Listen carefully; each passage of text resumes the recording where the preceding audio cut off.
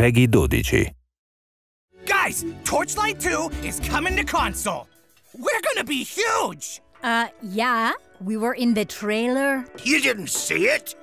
Oh, they'll probably ask you to do one. What would that look like?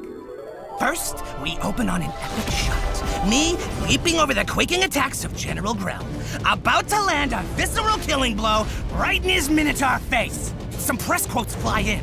On fire! Pure, perfectly paced, loot driven euphoria. IGN. Love IGN. Cut to me, holding legendary weapons in the brood hives. Huh, that's a good one. Finally, I'm hunkered down behind a pillar in the broken mines, narrowly avoiding poisonous bolts from the alchemist. Only a matter of time before I overpower him to single handedly save the world.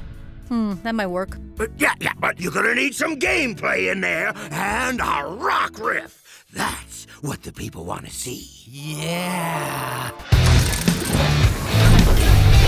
Torchlight 2, coming soon to Xbox One, PlayStation 4, and Switch. Pre order now for an exclusive Pet Yapper Goblin.